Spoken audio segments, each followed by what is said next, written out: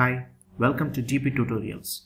In this tutorial, let's see how to open two projects at the same time and to view these two projects simultaneously. This trick will be very much used when you update or use the other project's data for editing a particular project in the Primavera. So let's see how to do that. Now in this Primavera, I select this both by pressing the control button selecting these two projects and I right click it and I open the projects. So this is how we get the two projects in the same window. Now if you go to WBS here you can view the WBSs of both the projects here and I'm minimizing it and now you go to the activities tab now go to this view and select show on bottom and then select the Gantt chart.